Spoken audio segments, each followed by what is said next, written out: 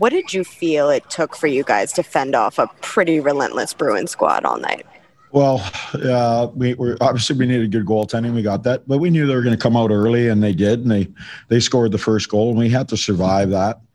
Um, and then we had some timely goals tonight. You know, our power play uh, hit on some timely goals. Um, they made a couple of mistakes, and we capitalized. And that's. Uh, but we, I, I, I felt like we ended up when we got up to uh, our fifth goal I felt that we started backing up a little bit, and and, and we can't play that way. We got to play a little bit on our toes a little bit more. So uh, we'll get that corrected. But uh, we knew it was going to be a tough building. You knew we were going to get their A game, and I felt they did. They they brought their A game. Go ahead, Molly. And you touched on it a little bit, but what did you make of the power play tonight? Were there adjustments, or was it just the yeah? No, we made some adjustments, and the guys executed on those adjustments. So um, that's what playoff hockey is all about. It's uh, it is about uh, minor adjustments. They're, you're not going to have anything too drastic, uh, but some minor adjustments, and uh, you know we were able to to hit on some of them. Arthur Staple, the Athletic. Very specifically, it seemed like flopping uh, Pageau and Nelson really helped you kind of stabilize things through the middle part of the game. What what kind of prompted that move for you to? Well, I just I just two? felt that they were they were uh, you know it was giving them a little different look. Uh, I thought it was giving us uh, uh, a little little boost in the middle, and then uh, we had some some draws on the right side, and instead of just changing the whole line, it was just changed to uh, one person. So that that was the, the, the mainstream of it, and then I just stuck with it for a while. Go ahead, Arthur. Um, Bruce Cassidy uh, seemed to be very upset tonight post game with the officiating. I think he referred to your team as the New York Saints. Uh, I'm not really sure how, how, what context that was in, but did you'll you feel the officiating? You'll have to ask him about that. I know that. Uh, uh, just look at where we ended up uh, during the during the year. I think we were the one of the least penalized teams in the whole league. So I don't know what he means by that. Oh, you'll have to ask him. Brian Compton, NHL.com. All right, I know you've said uh, multiple times that Anders isn't coming back in these playoffs, but what does it mean to the group to have him out there this morning and just having him along for this ride that you guys are on? Thanks. It, it means a lot. They see, uh, you know, Anders is a, is a, is a real good leader, and uh, he's back skating, and he will not return in the playoffs. So um, unless we play uh, until September, he's not playing. But uh, it is really good. You see how he's putting in the work, how he's supporting the guys, and he's around, and uh, really good influence on on the whole group. And uh, you know that's what what leadership is. So um, yeah, it's really encouraging that uh, you know he's putting in the work and. Uh, but he has a long road. I mean, he had a very tragic injury and a very serious one. So he's going to put some long, long, hard uh, hours in uh, all summer. Andrew Gross, Newsday. Hey Barry, um, you know, off that start, it's one nothing. It was almost two nothing on, on Marchand putting it through the crease. I, I'm sure the players knew they were kind of on their heels, but when you call the the timeout, what do you try and reinforce there? Um, you know, to kind of get them back on the rails, as you would say. Well, a uh, just remind them what what we were seeing. Uh, we were seeing that we were we were giving up we were giving up lines easily, too much space, backing up. Uh, you know, almost a um, you know.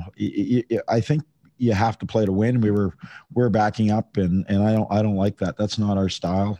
We want to go forward. So I just said, let's get back to our game. Let's get back to our our, our game of uh, pushing forward, and and uh, I thought we we stabilized that pretty pretty well.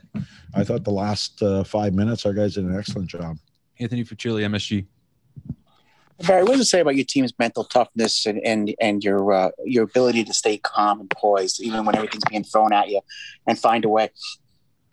Um, I, it, it, they're they're a veteran group and they uh, they rely on each other.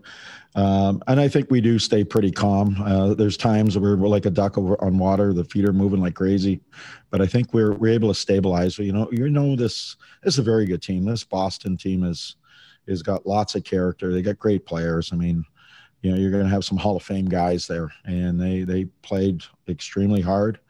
Um, they threw a lot of pucks towards our net. They they did a lot of a lot of things that they are known for and uh, we found a way in a real tough environment to get that done and at the end of the day that's that's there's only one stat that you can count it's not the shots on goal it's the it's the uh, the score clock and the uh, and we were able to do it. And we we had opportunities tonight, and we capitalized, and uh, we were able to get a win. So uh, you, you win games different ways, and this group has learned that over the uh, the course of the the playoffs. So, um, but to get the fourth one, it's it's the toughest game. Boston's going to bring their A game. We're going to have to bring our A game, and and uh, we'll just leave it at that. Iain McIntyre, Sportsnet. Barry, how much does uh, all the experience that your team has gained in in the playoffs the last three years, how much does that come to bear in a third period like this, where obviously your your team's not playing the way you like, yet they find a way to to close out a win? Well, I think it's it's invaluable. You know, you don't get an experience. I mean, this is game Kimber, you're going to have to help me. 42 or 43 in the last couple years. So this group's been together for the most part. You go through different experiences, and you, it doesn't always go the way you you map it out or the way you you want it. And so you just understand that you got to break the game down into into smaller micro type of uh, of pieces and you know like they like the end of the game okay we're still up we just got to break that down to the last five minutes and if we do it right, then we can come up with a victory. And that's sort of what we did. And we managed the, you know, it was uncomfortable. They made us uncomfortable. Um, you know, the way they played, they played very well. And, uh, but we didn't panic. There's a, there's a calmness about our group. And that's, to me, uh, experience is instead of worrying about all the things, I think what experience does is doesn't matter if it's hockey or it's in life. Experience just lets you focus in on four or five things that are the most important and everything else will fall into place. The inexperience is when it's chaotic and you're and you're worried about 10 or 12 or 15 other things and it and it uh, it doesn't become calm. It becomes very chaotic. So i think that's what the the playoff experience has allowed us to do is that we can just you know get refocused on get the next happening the next event and and that's that's probably what it's done for us. Last one here, Bruce Beck, NBC. Barry, speaking of refocus, Jordan Eberle said the last one is the hardest one to get. Yeah, it is. Do you have to do, do you have to reinforce that with your guys, or do you think that they they know and understand, especially with what they've gone through over the last couple seasons? Um, they they know they understand that they'll be ready, and both teams will be ready, and it'll. Uh, uh, you know, you just got to we just got to focus on you know next game and uh, and uh, you know go from there. That's all you can do. You, this one's in the in the in the we're gonna enjoy it for about ten minutes and then we'll just move on.